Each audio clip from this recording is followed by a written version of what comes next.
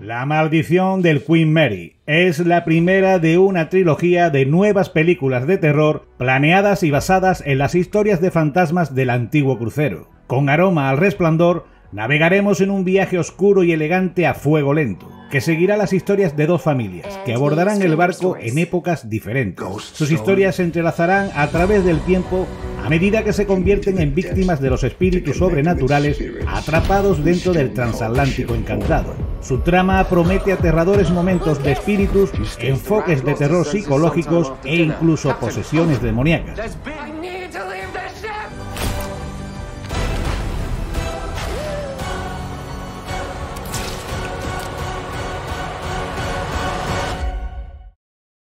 Nebula Ediciones presenta su lado más oscuro con la colección Mística, elaborada selección del presente, pasado y futuro de lo mejor tanto en cine como libros del género terror y misterio en general.